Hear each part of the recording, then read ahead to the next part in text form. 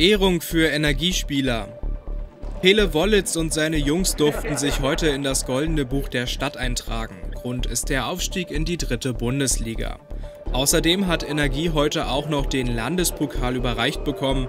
Die Übergabe konnte nach dem Finalspiel in Potsdam wegen Fanausschreitungen nicht stattfinden. Jetzt wurde sie nachgeholt. Auch die erste Runde im DFB-Pokal steht fest. Der FCE spielt am 20. August gegen den SC Freiburg.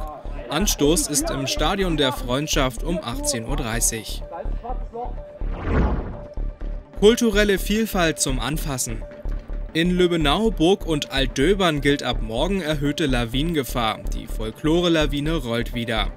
Mehr als 300 aktive Mitglieder präsentieren Bräuche, Tänze und Musik aus ihren jeweiligen Heimatländern. Der Startschuss ist morgen in Lübbenau. Ab 14 Uhr beginnt hier das Bühnenprogramm. Der Eintritt ist an allen drei Tagen frei. Die Folklore-Lawine rollt dann schon zum 18. Mal durch die Landkreise Spree-Neiße und Oberspreewald-Lausitz. Weltmeister zu Gast in Cottbus.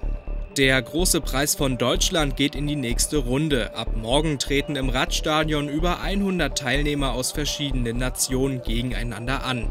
Ab 18 Uhr beginnen die Finals im Radsprint. Am Samstag geht es dann weiter mit dem großen Preis von Cottbus. Ab 9 Uhr beginnen hier die Vorrunden im Kairin-Rennen. Ab 16 Uhr geht es dann weiter mit den Finalrunden.